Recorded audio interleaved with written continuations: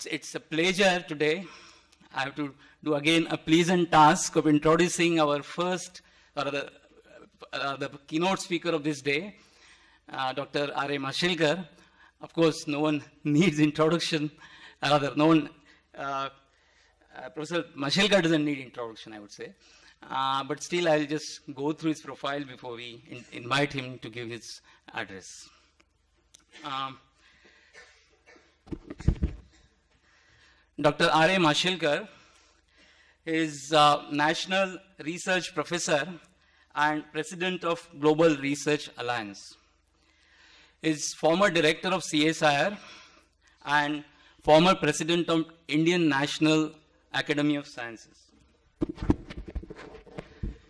Dr. Mashelkar is Fellow of Royal Society, FRS, Foreign Associate of US National Academy of Science and also National Academy of Engineering, Associate Foreign Member, American Academy of Arts and Sciences, Fellow of Royal Academy of Engineering UK. He is Fellow of US National Academy of Inventors, the first ever Indian to be elected for this fellowship. He is currently the chairman of India's National Innovation Foundation, Reliance Innovation Council, KPIT Technology Innovation Council, Persistent Systems Innovation Council, and Marico Foundation Governing Council. He co-chairs the Maharashtra State Innovation Council. Now, I don't know whether you've got a chance to read today's newspaper. There's a headline in Maharashtra Times, and there's a news item in Times of India as well about uh, state government's startup policy. And uh, it mentions the contribution of Dr. Mashelkar as a co-chair in formulating this particular scheme.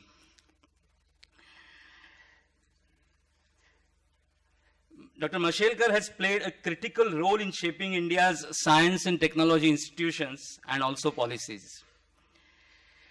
He was a member of Scientific Advisory Committee to Prime Minister for last three decades. 38 universities around the world have honored him honorary doctorates. And lastly, very important, the President of India honored Dr. Mashelkar with Padma Shri 1991, Padma Bhushan 2000, and Padma Vibhushan 2014. So we are extremely lucky.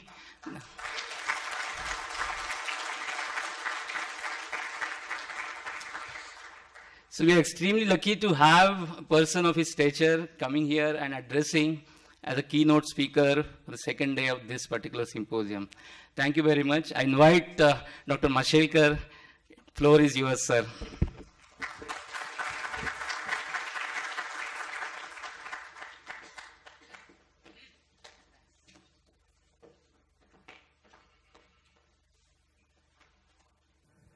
Professor Mahajani for those uh, very kind words. It's always thrilling to be here in this great institution. So Devang, it's wonderful to see you. I was here just a couple of weeks ago, so good things have to be repeated. So I'm repeating good things. It's wonderful to be amongst uh, all of you. Uh, innovation is a subject that is very close to my heart. I always said I in India must stand for innovation, not inhibition, not imitation. And I'm very happy that we are on that path now. That's uh, really wonderful. Uh, this center, uh, the creation of which actually I think is a sort of major milestone, uh, must uh, acknowledge uh, our friend Ratan Tata for thinking of creating this center, and he could not have created it at a better place than IIT. I think that's uh, fantastic. Uh, what I'm going to do today is to talk about what I like to call as assured. And I'll explain what is assured as we move along. Uh, to me, that is going to be the game changing innovation paradigm. achieving so many things at the same time, including the theme that we have here innovate to transform. Real disruptive transformations can take place if we follow what is called as assured, which I will introduce. Innovation. Where does India stand? That's the first question. So there are indicators, of course, where, yeah. So where do we stand as far as uh, uh, innovation is concerned? So there is what is called as a global innovation index, as we know, which measures, uh, I mean, which gives ranking among 141 uh, countries. And India's innovation rank, I'm going to give you some bad news to start with, but my lectures will always have a good news at the end. So don't worry. So first the bad news. The bad news is our rank was 62 in 2011. But worse was to follow, 64 the following year. Then the worst was to follow, 66. Then 76. And then 81. Not something to be proud about. Why is it that that rank kept on falling? Are we not investing more? Aren't the governments making better and better policies? Yes, of course, we are. Still, why are we falling? So you must understand that when you are running, it is not your speed that matters. It is the competitor's speed that matters. So we are running, but other nations are running faster. And having given the bad news, now the good news. 2016, we jumped from 81 to 66, and the following year to 60. Does it mean that in two years we have suddenly become innovative? No. What has happened is that the measures that are used for Global Innovation Index, they underwent change. I happen to be a member of their International Advisory Board. And I told them that what counts doesn't get counted, and what is counted doesn't count as far as this index is concerned. Because there was a very narrow definition in terms of technology, all right, and measurable parameters, whether they are patterns and so on and so forth, etc. Patterns are not everything. Okay? So you measure what is measurable. But I said, what about non-technological innovation, business model innovation, workflow innovation, system delivery innovation, which can be transformative? Basically. All right. I said, our Mars orbiter mission, we did in $74 million. US did it in $671 million. Tenfold, 10x. All right. And we are both around Mars. Where does it count? Isn't that, that innovation? So they were trying to find some proxies and all that, and we made major changes in those. And part of the reason why we have risen is also that real innovation.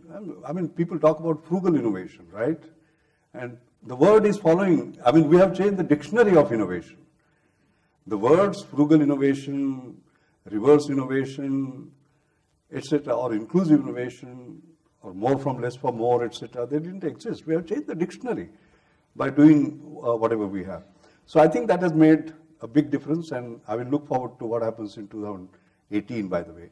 And I will like this index to go up, not because the indicators are changing, but we are changing. And I will talk about what changes we need to make in order to make a difference. I think India's big challenge is journey from mind to marketplace. In terms of ideas, no issue at all. Fantastic. But how do we finally reach the marketplace? How do we do that journey? I think that is where our challenge is. We are great in launching products, by the way. Okay? I'll show you photographs. And invariably, ministers do that. Here is one.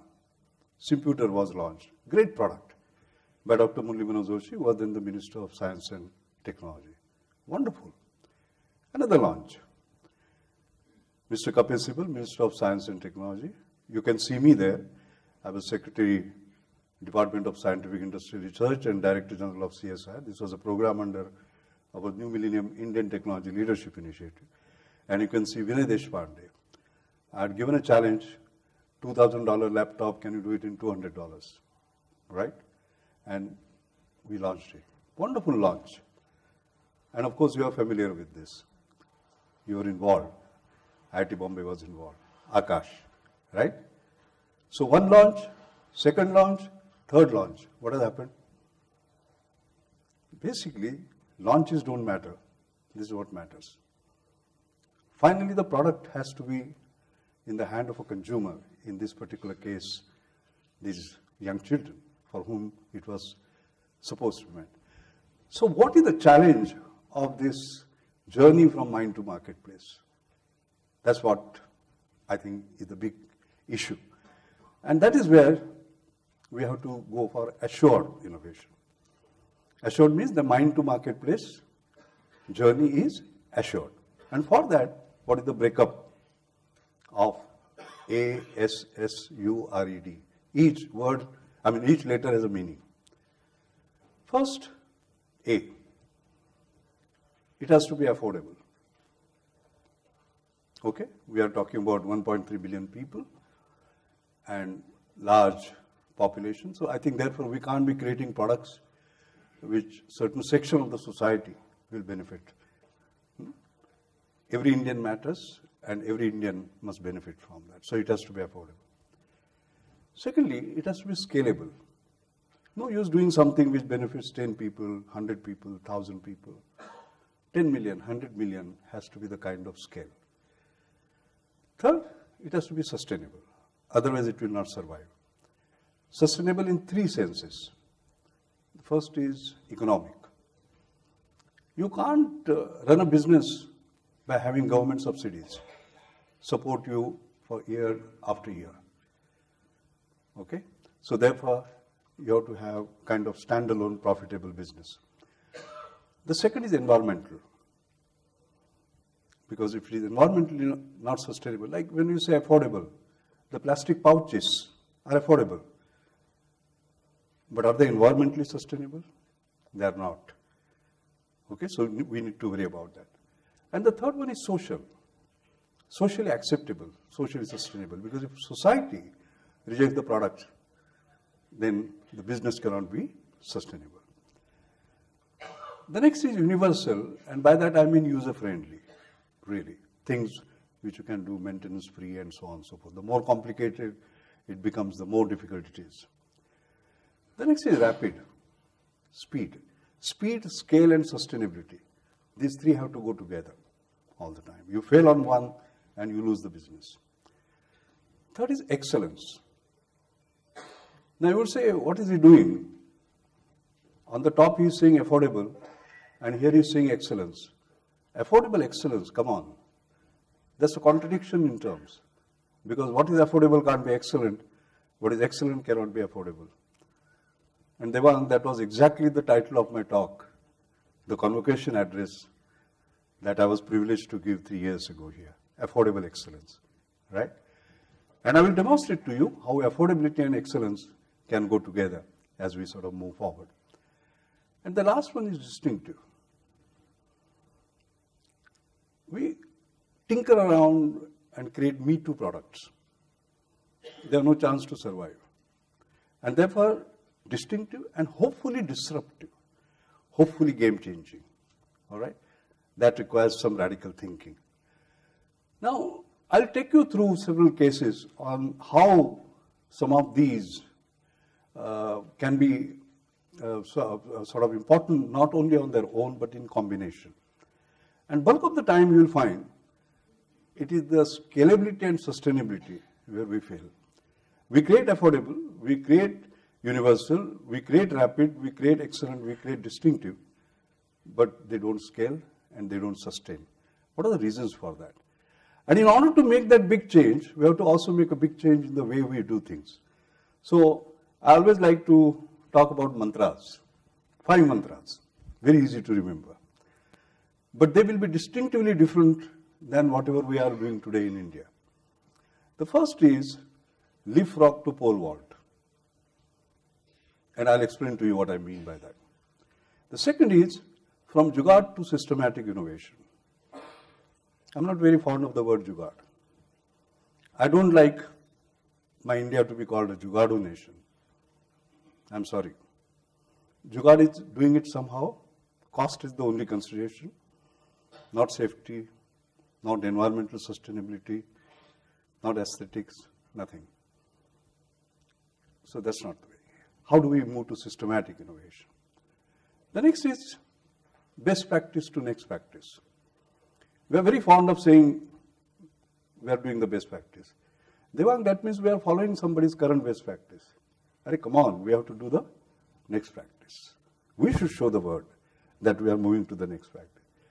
And the last one is from incremental to disruptive. Not 10%. People call me a 10x guy. I always say do 10 times better but at 10 times lower cost. Not 10% better at 10% lower cost. You say, come on, crazy. I will show you how it can be done. These five Devang are mantras which will move India from that 62 rank to the top five. Right? But that requires a huge change in terms of the mindset, risk taking, and so on and so forth. And I'll take you through that. First, let's talk about leapfrog. Do you know why a frog leaps? Because he's afraid of a predator. Do you know what is the average that he leaps? 4.6 feet. Do you know what is the world record? 7 feet. So here is leapfrogging. Because you are afraid of a predator, you are jumping 7 feet. Is that what you want in India?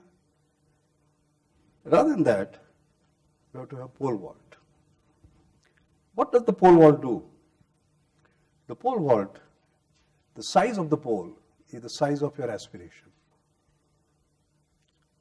Take a thousand meter pole and you can cross continents, basically. Can we do that? I think that is the basic issue. I chair the Reliance Innovation Council for the last 10 years. We have uh, Nobel laureate Jean-Marie Lehn, Nobel laureate Bob Grubbs, George Whitesides from Harvard. C.K. Prahalad used to be a member, he's no more, and so on. And we always think in terms of those five mantras, by the way. And in one of the discussions with Mukesh Ambani, we said we must uh, uh, sort of uh, pole vault to a new level of ambition, new level of ambition. And we have an innovation uh, uh, leadership center uh, through which we create innovation leaders. All right, we have something like two and a half lakh employees. We just pick up some 25, 30, and for them, we have created this program called Beyonders. These are the people who are able to go beyond the realms of possibility, right? So here, for example, is an example on how these things can be achieved. Look at uh, the uh, mobile data transmission in terms of million GB per month. This is where India was in comparison to the rest of the country. This was about three months ago. Launch of Jio has moved it to number one position. Now US is second and China is third. This is not leapfrogging. This is pole vaulting to the first place. Okay. More importantly, what you see, if you look at the number of years it took to reach uh, 50 million users, telephone took 50 years, mobile took 12 years, YouTube took 4 years, Facebook took 3 years, Twitter took 2 years, right? And we would always look at these tables, teach our students how they did it and all that. But this is all happening there. Now you can add something more. Look at this. 83 days. Now you say, how was it done? Well, the onboarding time used to be around five days. It was reduced to five minutes. How? Because there's a platform of Aadhaar and a mobile. And some of you who must have onboarded, you must have experienced that, basically. Of course, without those technology platforms, it would not have been possible. But using that, today, this is what one has been able to create. That is exactly the spirit that I'm talking about. basically, you know. How do we build that spirit? To me, what is more important is this, by the way. We used to take pride in missed call. I did not used to take pride in missed call for a simple reason that you are not paying for a missed call. Some telephone company is paying. You are getting the benefit, the cost is borne by somebody else. That's not my idea of innovation. But from missed call, now we have moved to free voice call. Dhirubhai Ambani had said, phone call at the cost of a postcard. You remember that? And not even cost of a postcard. Now free voice call. And most importantly now, 5 rupees per GB video call. Can you just imagine what it means? You know, I was talking to somebody on the other day. What does 5 rupees per GB video call mean? Their old mother, widowed, let's say in Mumbai, her son is at the border. Okay? She can talk to him and see him every day. Her family. Can you imagine what it does to the spirit of that young man? Basically. Okay? That is the societal change that you are talking about, basically. That has all become possible because of the systematic innovation. Let's move from Jugaad to systematic innovation. Well, here is a challenge. There are five customers who want tea and they want it at the same time. And you have only one kettle. Okay? You don't have five people to serve. How do you do that? I think the whole world will be puzzled, but not India. India has a solution.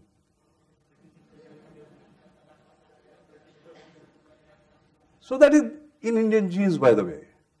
Because scarcity on one hand and aspiration on the other hand is a terrific combination. So you do find a solution. But this is still not Jugaad because it doesn't meet the criteria that we talked about assured. Affordable? Yes, it is, but not the rest.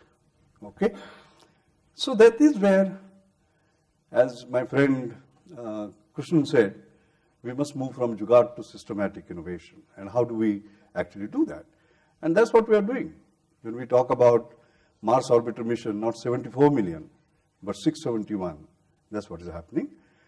And uh, ISRO launches 104 satellites in a single mission, which is a world record. So serving five customers at the same time at a ground level, that is in our genes, and also launching 104 missiles at the same time, that is also in our genes. Jugaad to systematic innovation. How do we do more of it? I think is the challenge. So this is assured. Then we move from best practice to next practice. Okay, is it possible? And I'm taking you through live examples, by the way. This is not theory. This has actually happened. Uh, in my mother's name, I've created what is called as a Anjani Mashelkar Inclusive Innovation Award. Uh, the reason I created it was very simple. I uh, remember uh, her constant uh, this thing to me that you're a scientist, do something for the poor and so on and so forth. So we create, uh, created this award, but it is inclusive innovation award, where the benefits of innovation will uh, reach the last person. One award went to uh. He created this 10 rupees hemoglobin test. I think some of you may be aware of his work. The other one, Rahul Rastogi, just 5 rupees for an ECG. And dollar one for breast cancer screening. These were the three consecutive awards. This is the seventh year of the award. Now, the basic uh, issue is we have to move from best practice to next practice because these awards are not given for best practice. They are given for next practice. So supposing you are talking about ECG, what is the best practice? Best practice is this. You lie down, there are leads, right? And so there is a nurse, and then you take a printout, and so on and so forth. What is the next practice? He created this next practice. It is here. Okay? Half the size of a smartphone. So you put your two fingers like this for 15 seconds. There's a sensor, okay? There are prescribed positions, one, two, three, above the heart, one, two, three, below the heart.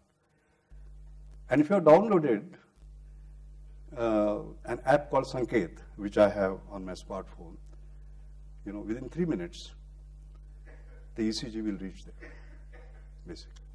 So, basically what one is doing is here. Personal 12 lead ECG event monitor, portable credit card size, 5 rupees cost per ECG. And the way it works is uh, like this. Uh, download the free mobile app, touch Sanket with thumbs, get ECG, and then it gets transmitted by email. Okay? Now here, you will find A, affordable, yes. U, universal, unique, simple, because this is like using a thermometer, isn't it? Yes. R, rapid, yes, within three minutes. E, excellence, yes. He has used a cutting edge technology, by the way, in order to make it happen. It is mainly software, not hardware, by the way.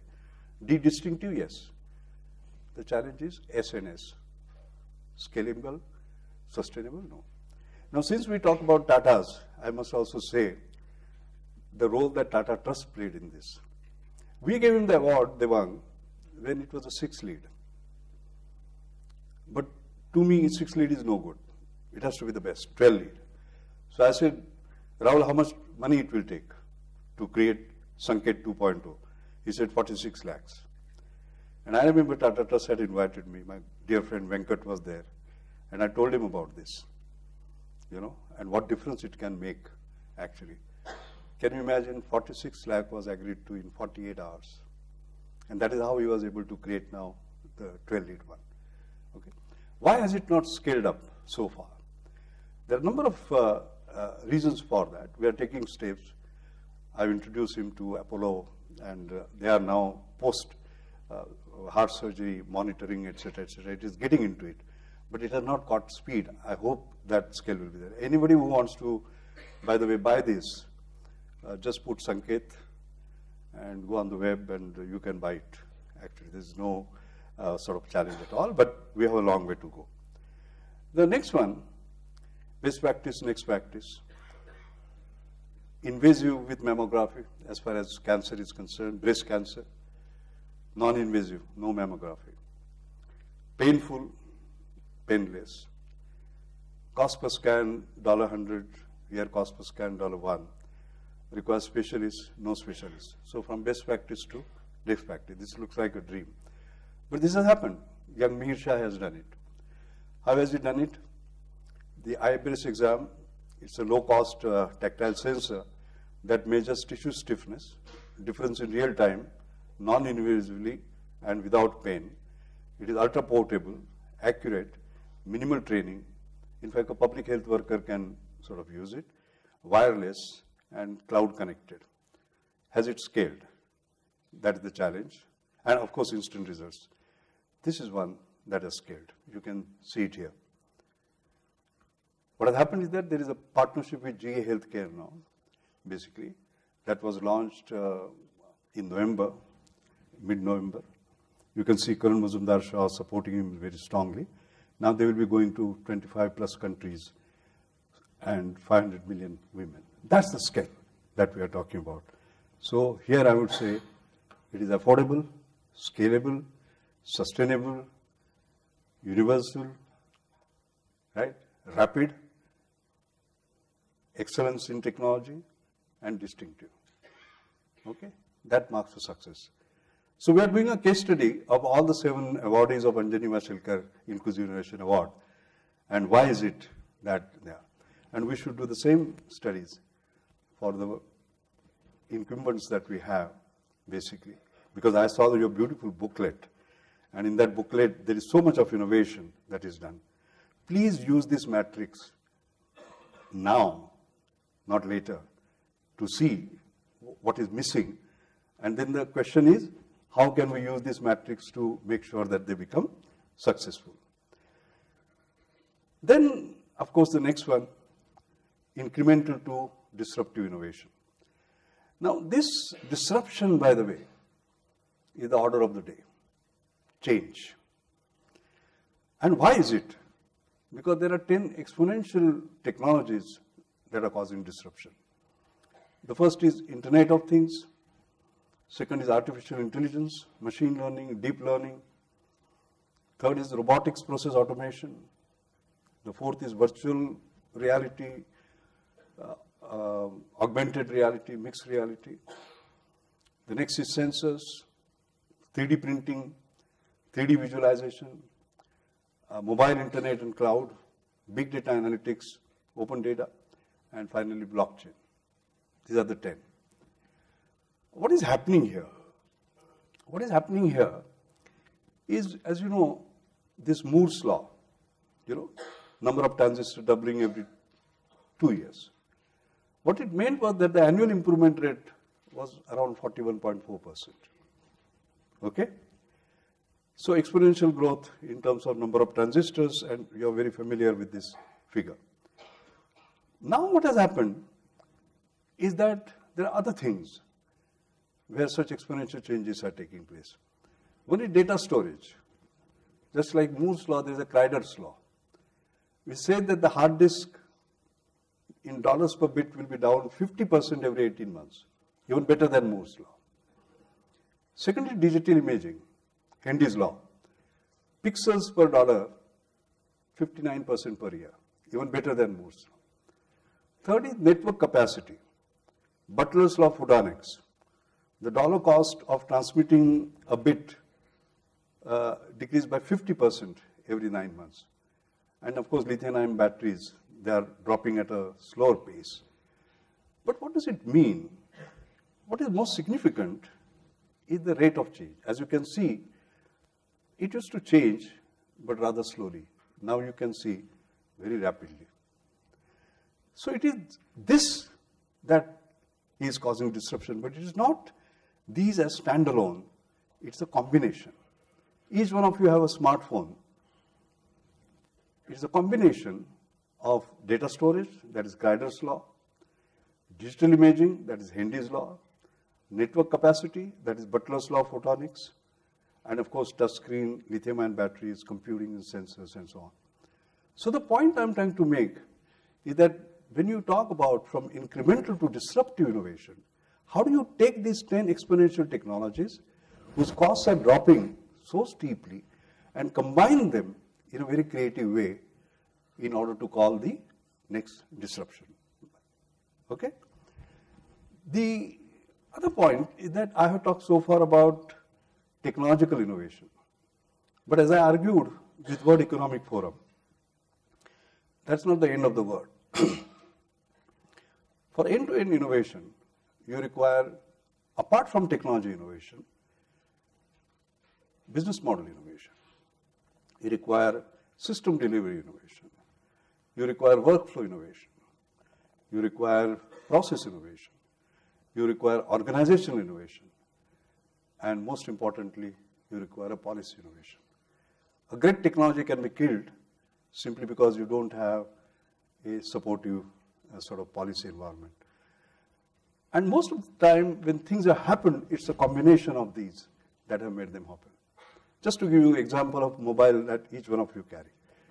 The first was the policy innovation, deregulation, okay, opening up. But the handset was $250. So even if you had opened up, if it was $250, nobody would have afforded it. It was brought down to $25. That was technological innovation.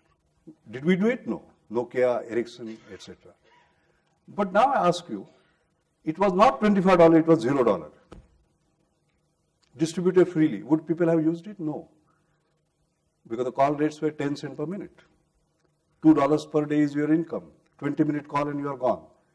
So that is where the business model innovation came. All right? That is where phone call at the cost of a postcard and then the Airtel and so on. This is covered in a paper by me and C.K. Prahalad in our paper, Innovations Holy Grail, in uh, Harvard Business Review, by the way. Okay, so those of you who are more interested, come. So what is the point I'm trying to make? Policy combined with technology, combined with business model. If one of them was missing, you would not be having mobile phones in your pocket today, or a billion mobile will not be there in India today. So it's a combination, the combinatorial of technology and combinatorial of non-technological and how creatively you can actually integrate them to create the next practice. That is very important. Now, India has done it very well, I must say. I mean, look at uh, uh, the great Indian Innovation Combinatorium, JAM, Jan Dhan Yojana, that was policy. Aadhaar, a billion plus, and mobile, a billion plus. Okay, the three combined together. And we have now 300 million plus this thing. In fact, there's a Guinness Book of Records, by the way, because uh, in a particular week in 2014, we created 18.6 million accounts. And that is a Guinness Book of Records, by the way. So can you imagine how, and you can now see, mobile I told you what was the combinatorial, Aadhaar, again technological, but also workflow innovation. To get a billion in five years is not a joke, by the way. And Pradhan Mantri Janadhan Yojana was a policy innovation. So it is a combination of all these which has created now these 30 crore plus accounts, so as to say. Let's uh, move on and talk about incremental to disruptive innovation. India is a master in this. Incremental is 10%, disruptive is tenfold.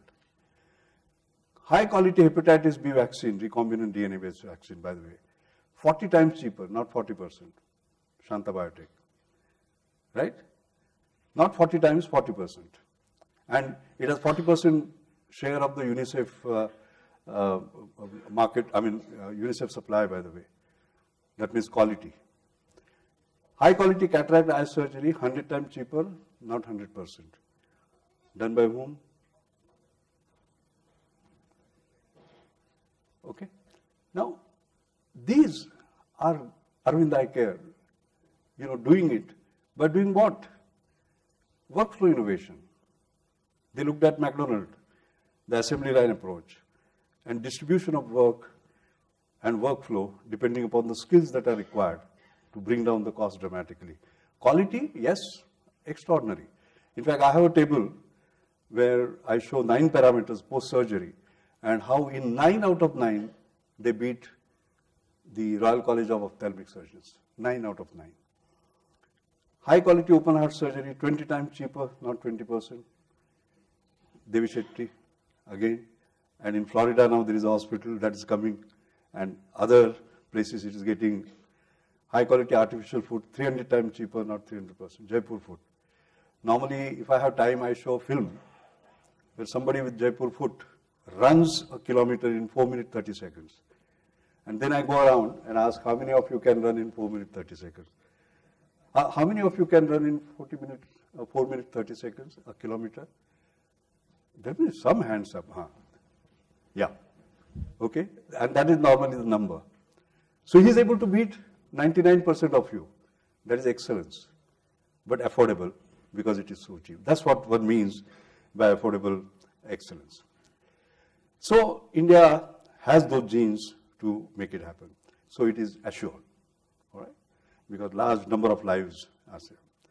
The other issue is in terms of disruptive innovation, it is about getting far more for far less for far more people, by the way, not for far more profit. Okay? I call it MLM 2.0, more from less for more, 2.0. And this is the paper that we wrote on this subject, Innovation's Holy Grail, getting more from less for more. Uh, this is now ranked among the top 10 must read papers, by the way, in uh, innovation. And those of you who are more interested, uh, you can see these uh, uh, breakthrough designs for ultra low cost products. There is a TED talk that I've given, which has uh, these many views at 6 a.m. today. Oh, this is not 6 a.m. today, by the way, because I had posted this to you earlier. Today morning I looked at it, it is 6,29,685. So this is the latest. But basically, those of you who are interested on how this can be achieved, it is uh, this. In order to do that, finally, what do we need? We need these fundamental changes. Supposing there is a new idea, Devang, and you want to discuss that, traditional mindsets that will be there, first they will say, too risky. Second, they will say, Suppose it fails. We are always afraid of failure. Third, impossible, never done before. But this didn't exist 20 years ago. It exists. What do you mean by never done before? Next, somebody has tried it already, confidently. And supposing you are scared, but you have good English, and you don't want to show that you are scared, you will say, oh, let me play devil's advocate. But what it means is a mindset that cannot make you do those five mantras that I talked about. So I always uh, say that if you are getting into brainstorming in a conference room, put these five outside and say that anybody who utters any of these will be out. Without that, you can't have this breakthrough. So you require those changes in terms of mindset. There are two definitions of innovators that I like. Innovation leader is one who does not know it cannot be done. Many oldies like me already know it can't be done. That's not done. Young people today don't know it can't be done, by the way. That gives us the hope, by the way. The second is innovation leader is one who sees what everybody else sees, but thinks of what nobody else thinks. Our education systems don't allow us to do the first as well as the second. I think that requires a fun, sort of fundamental uh, change. Innovation leaders are those who find opportunities where others see nothing, convert problems into an opportunity, and you have seen it time and again. They set quantum goals, not small goals. They drive discontinuity and bet on risky ideas.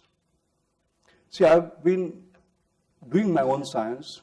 My own science is based on risk. Uh, here is someone who is in my uh, domain area. There's a paper in current science that I've written, Chasing Anomalies and Discontinuities, the fun and joy of science, where normally, you know, you do experiments and there is an outlier and you tend to neglect it. I've chased those outliers all my life and created new science that is there in that current science. But as a science leader, betting on risky ideas, I remember in NCL, National Chemical Laboratory, I started what is called the kite flying fund. 1% of my budget.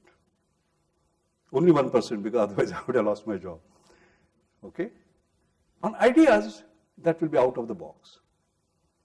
So it was like giving your permit, you know, saying that risk and no issue.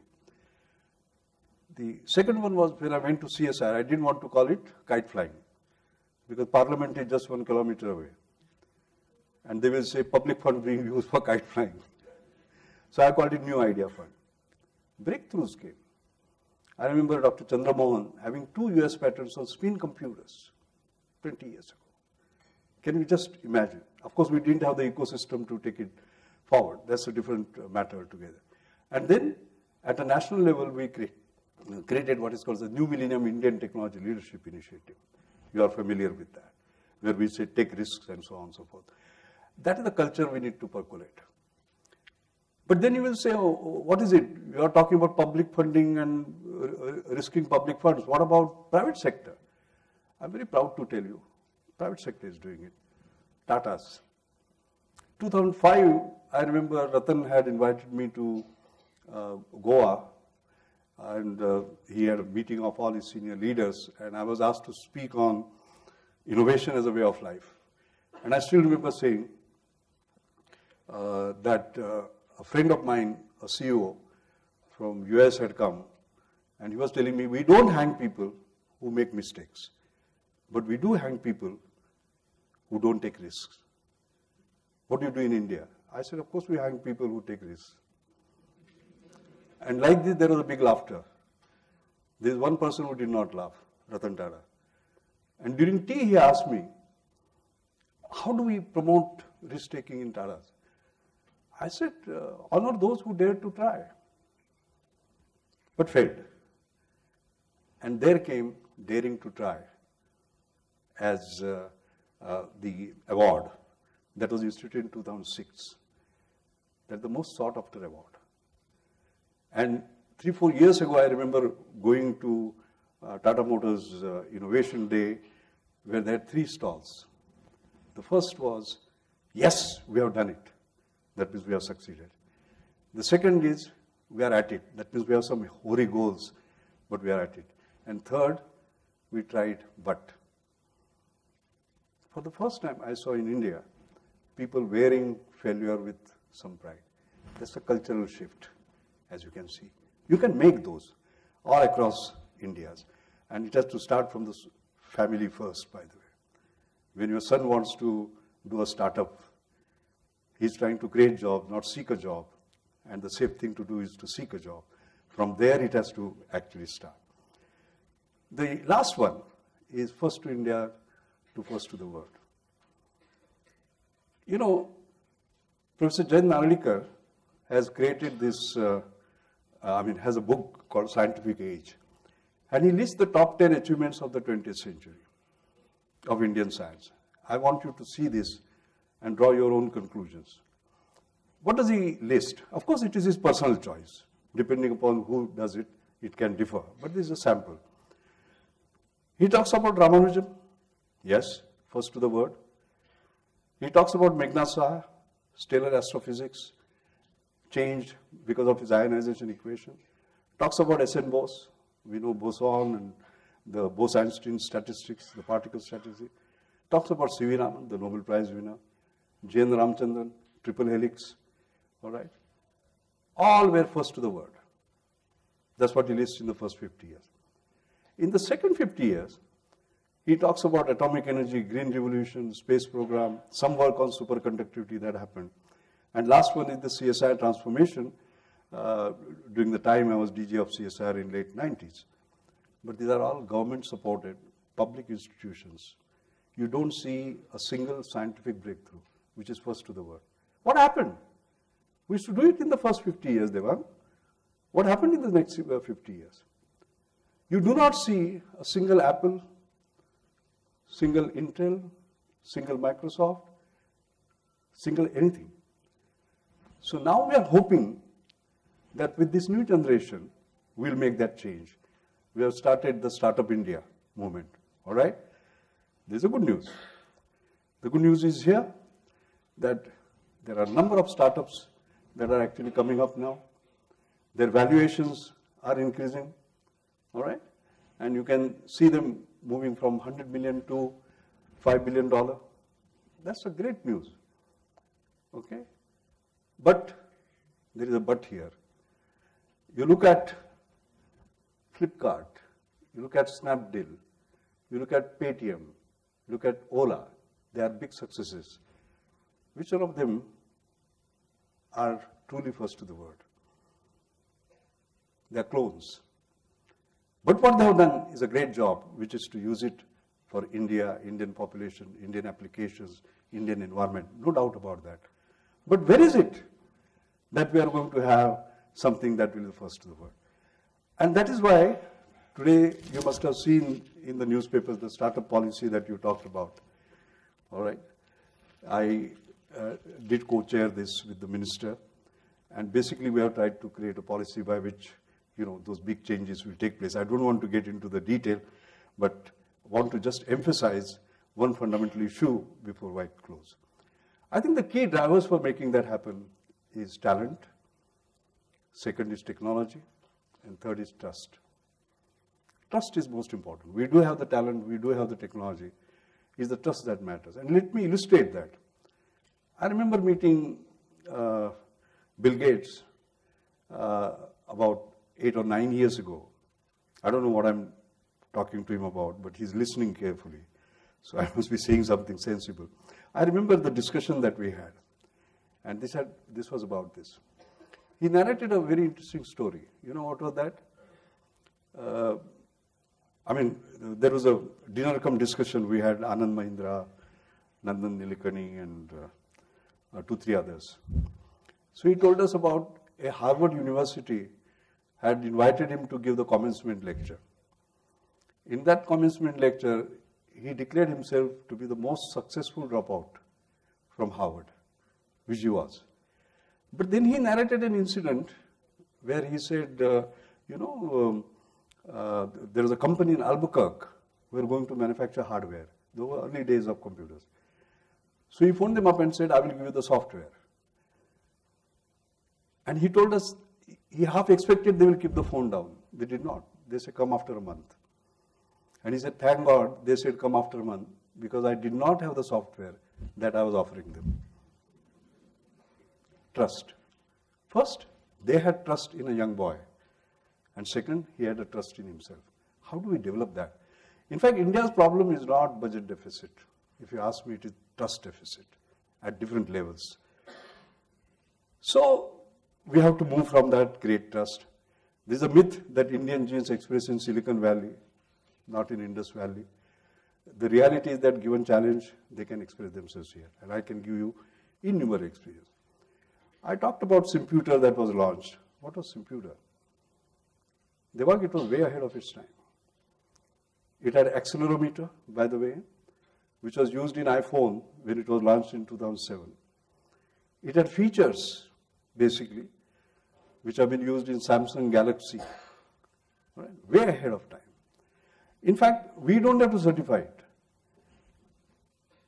Bruce Sterling, New York Times Magazine said, the most significant innovation in computer technology in 2001 was not Apple's gleaming titanium PowerBook G4 or Microsoft's Windows XP. It was the Simputer, a net-link, radically simple portable computer intended to bring the computer revolution to the third world. That's where we were, ahead of the rest of the world. In fact, somebody who understands this, I'm not an expert in the area, has told me that if this was taken forward, we could have been leaders, world leaders. We would have been in China, by the way. It did not happen. Why? Because all these letters, it was affordable, URED, everything, but it could not scale sustain because there was something that was missing, which was a bold, innovative public procurement policy for and of innovation. I think that is very critical. What happens is that in other countries, you have this bold policy. I remember seven, eight years ago in Beijing, I think 10 years ago, in Beijing there was a Global Inclusive Innovation Summit. I gave the opening plenary, and the lady who followed me was the Vice Minister of Science and Technology, China. And she said last year, the public procurement support that we gave to indigenous innovation was close to a trillion yuan. Divided by six and you will get dollars. And every other country has such a public procurement policy. So what happens is that government becomes the first buyer. So supposing when Simputer had come, an order for 10,000 was placed. All right? All the beta testing would have been done. All right? customer feedback, this, that, and the other, etc., it would have become market ready. Okay? So there was this big discussion on how do we sort of move on that. And therefore, now the policies are getting changed. You see that in this policy, by the way. These elements have been incorporated. And at a national level, we are trying to do that because in Niti Aayog, a couple of months ago, again, I chaired a brainstorming session on India at 75. Today we are India at 70.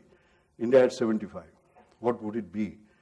Okay, and there were leaders, and there was one comment that came, because as you know, I chair the Swachh Bharat Technology Expert Committee, where we look at technologies which are available, affordable, accessible, scalable, sustainable, rapidly deployable, socially acceptable, and so on. We give them the best. But somebody said, what's the use of Pachalygal Committee? Because when we go for those technologies, we have to opt for L1, the lowest. Okay, so how do you take a decision for uh, uh, something that is technologically superior and all that? And therefore, I have done this paper now, Innovative Public Procurement Policy for Fueling Assured Inclusive Innovation. Uh, Niti Aayog is publishing a book called The Path Ahead, Anthology of Transformative Ideas for India, where this will be sort of appearing. And I do hope, like at the state level, at national level, these policies will come up. I'm very happy to say that in Startup India initiative that the government of India has taken, already these public procurement policies, some of the elements sort of feature there, but they must uh, pervade all walks, not just uh, the startups. Finally, I always like to end with a good news, by the way. I've given you a lot of bad news and the good news, but end with a good news, and that is uh, the commitments. One of the finest day, finest evening of my life was this. You know what is this evening? You can see here a book getting released. That book is on innovation. And this is the last official act of the outgoing president, Sri Pranab Mukherjee. Okay? And you can see here our Prime Minister, the incoming president, the current president, the vice president, Professor Anil Gupta, who is actually the driver behind all grassroots innovation movement, and I'm there in my capacity as chairman of National Innovation Foundation who created that book. So if the last formal act of the president, outgoing president of India, you know, is release of a book, and he was very proud of it. I just met him in Ahmedabad. Then I think that is something that actually can be counted. So if this happens at the national level, this happens at the state level, I think we are on.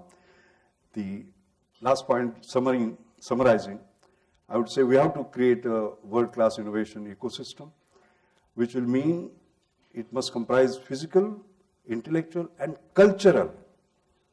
Culture is very important. For that, we require critical innovation support systems like education research institutions, like the IITs that we talk about, incubators which are coming up, accelerators that are coming up, technology parks that are coming up, and not venture capital, adventure capital. Because our venture capital tends to be vulture capital. All right? We require early stage financing, nascent ideas, and so on.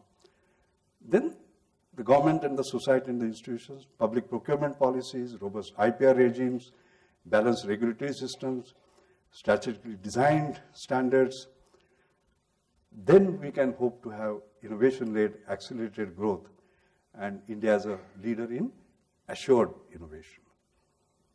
All right? Now, my dream is, of course, that Make in India is not just assembled in India. All right? We have to discover, innovate, and deliver in India. The smartphones that we carry, iPhones, are manufactured in China. By whom? By Foxconn. How many jobs does it create? 4.5 million jobs. How much money does Foxconn take away? $10 per iPhone sold. How much does Apple take away? $350.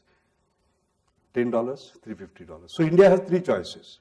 First, sweat it out, get $10, but 4.5 million jobs. Third, go a little below, think, create, innovate, get $350, but not many jobs, few takey jobs. But the third is Take that $10, take that $350. That's what I mean by discover, innovate, and make in India. So when I got the J.R.D. Tata,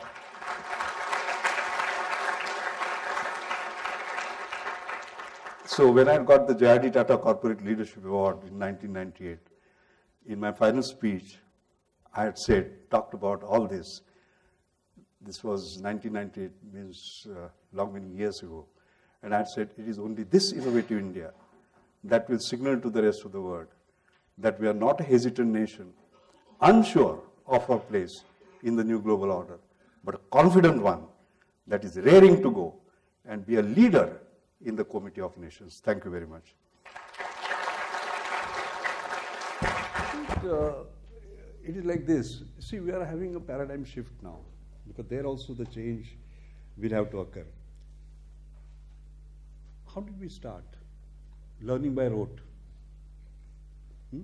Kara, होका आणि ओका म्हणतो ना from there learning by creating or sorry, learning by doing. Learning by doing means what? Our teachers said step one, step two, step three, step four, and we followed step one, step two, step three, four. That was learning by doing. To learning by creating, right? Creating something new. That is where we are in our Prime Minister's Innovation Council, you know, we had talked about Tod for Jod centers so that children are allowed to. That's what you do, basically, in your center. Of course, this government has come with tinkering labs. Basic concept is same. In Maharashtra also we are creating tinkering labs so that children will be able to do that. So learning by doing, I mean, uh, learning by rote to learning by doing to learning by creating. Now it is learning by co-creating. And co-creating not with man and man, or man and woman, but man and machine. We don't talk about robots anymore, cobots, cooperative robots. So I think the new education system will have to actually teach this on how to excel by learning the art of co-creation. While also having the personal attributes like emotional intelligence, like dealing with complexity, uh, critical thinking, creativity. All right? I think these are the new qualities that we have to imbibe. And if you use these and look at our current education system and see which of those are imbibed, I think there are big question marks. So it requires sort of a big, uh, I would say, change and a revolution. Yeah. Yeah, good morning.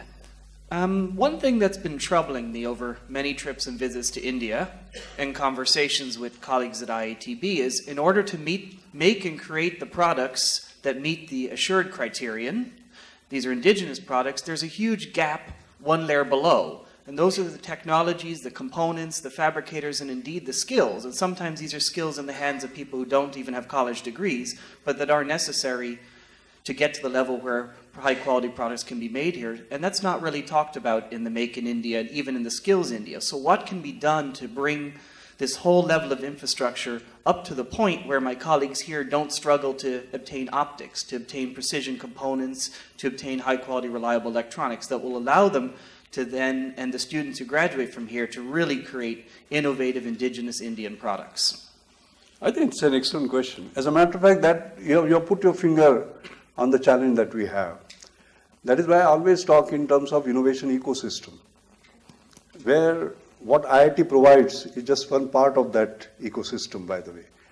And finally, we'll not succeed in the marketplace unless all these components, including the ones that you talk about, are fixed, basically. So therefore, in the innovation policies that we talk about, we create lots of policies. It's the execution that actually uh, sort of matters. So even in this policy, by the way, there is an execution which comprises all those components because one missing component can finish you off out of all these uh, uh, individual components that we talk about. I think we have to learn that uh, uh art. We have had some successes, but it is despite the ecosystem, somehow or the other, there was an individual motivation, this, that, and the other.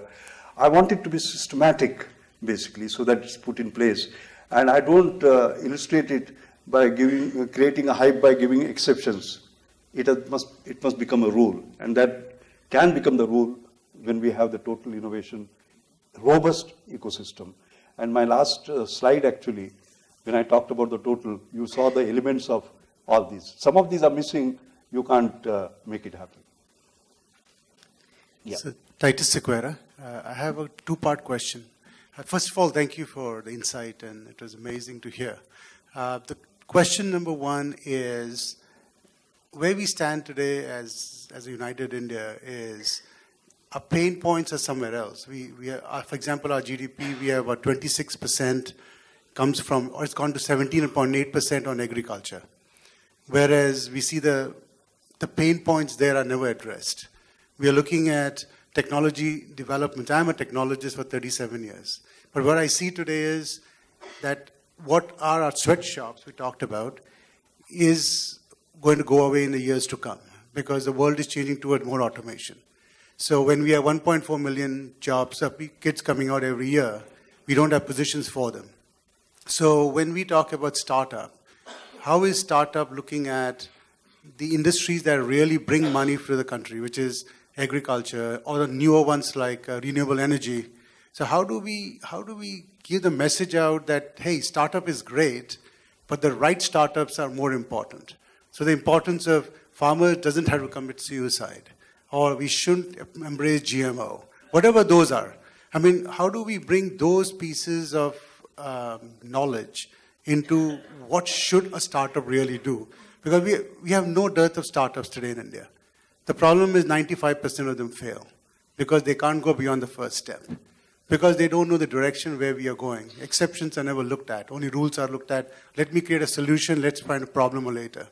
So those are some steps that I am struggling uh, to understand sure. where we could think of. Thank yeah. you. No, again, an excellent uh, question, something uh, that keeps us awake. I think there are both internal and external factors. Internal is internal motivation, to be useful to the society to solve the problem that they have. We talk about startups, all right? A new mindset that is coming up, by the way.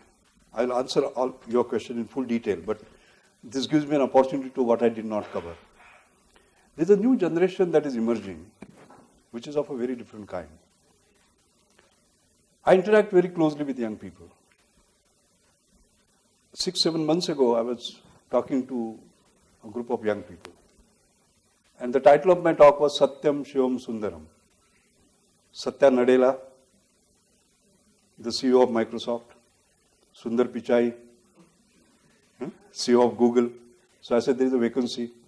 Shiva, maybe Apple's CEO. One young boy got up. You know, this is the characteristic of the young generation, very respectful. So he says, Sir. He called me sir. But he says, Sir, you don't understand us. I said, What do you mean? I thought I'm, i was inspiring you to become. he said, No, sir. Your generation, your only dream was to go to US somehow. The next generation, they said, we must go to US but get a great job.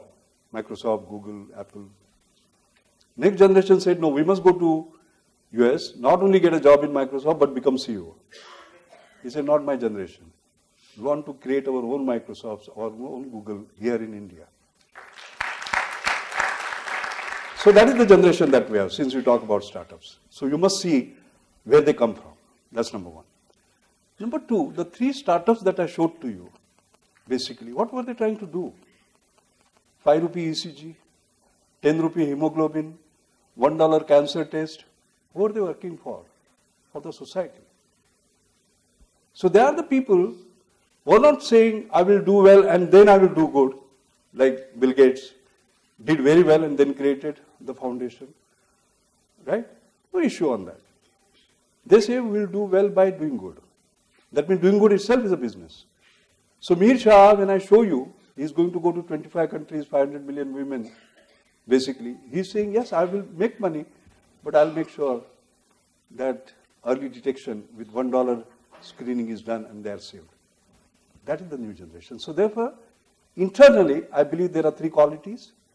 Innovation up there, yes, our young kids are very innovative. Passion, yes. Compassion. Innovation, compassion, and passion. I think that is where it has to start. Now, once that compassion comes, they start looking at the problems. Agriculture being just one of them.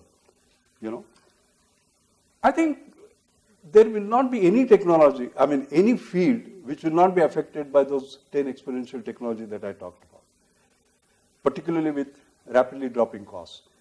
And how do we creatively use them, I think is the issue, basically. All right? And I'm finding, because I deal with them, um, for example, I'm very deeply involved in startups. I have my own startups, by the way, basically. Even at the age of 75, I said, so I have two, Vyome Bioscience and Invictus uh, uh, too. You know, there is a supramolecular therapeutics in uh, Invictus where we are dealing with some breakthrough technology. So I'm enjoying that. But I also chair uh, venture capital companies and so on. So one of them is GenNext Ventures. This year we had 1900 applications out of which we chose 16, just last month. But if you scan those 1900, they touch on all the topics that you talk about on their own, you know, including agriculture by the way. So I think we are having a community now of young people, you know, who just don't want to become rich, but also contribute to the society. That is my hope. What a policy like this does is to help them. For example, we said public procurement policy is a great challenge. You know, this policy is so bold, they have made it mandatory that 10% of the procurement from government departments has to be from startups. There you are. Okay? There are so many other things by which they have tried to make them hassle free. And then they have identified those areas, including social entrepreneurship we want to promote. You know, biotechnology which uh, sort of works uh, for uh, everyone and given them sort of uh, special treatment, so as to say. Incentivizing that, actually. So I think it is a pull and a push, both will be required, basically. I, you know, I, I must tell you something. I have the reputation of being a dangerous optimist. All right? And I'm very optimistic, very frankly, that you will see the change, and sooner rather than later. Because many of those things that are presented, you would not have imagined, like the way India has kind of jumped. Nobody would have imagined. Nobody would have given us a chance that we become number one in, in, in this way. Right? Of course, it required bold leadership. Of course, it required deep pockets, but it also required guts. You know, because if you do calculations on the basis of current consumption, you will never invest $18 billion. You have to look at the future and invest. So I think it's a combination of large number of uh, things that have actually happened. So you see a new emerging India, you know, at different levels, uh, and I, I, I, I find it the, probably the most exciting. I feel sorry I'm 75. I wish I was 25, you know, because the, the real new India is happening now. Take my word for it. Uh, sir, I am Rajul. Uh, here, sir. We'll have a last yeah, yeah. question now. Yeah. Sir, I am Rajul, I, IIT student and also a founder of a star, agricultural startup. Mike, I think if I have not understood, maybe I have not understood your prop- thing properly. You said don't depend on the government initial, mean, initially for scaling, scalable and sustainable. I, I feel my product is assured, but then in the last example of Simputer, which I also happened to use it uh, 20 years back, uh, is that you said if government would have placed an order for 10,000, maybe Simputer would not have died. So I feel a contradiction. Not There's no contradiction. So not depend on the government, but at the same time you feel that No. government should place an order for 10,000 No, systems. I, I, I think uh, uh, offline we can talk and I'll explain to you, but there is no contradiction. Okay. What I'm saying is that any business that you create finally should not depend upon the crutches. That's what I mean. For example, Simputer. Government places the order for first 10,000. All the testing is done, consumer feedback, perfection of the product, etc. It becomes market ready. And once it is market ready, once they start, sorry, they can't then depend on the government.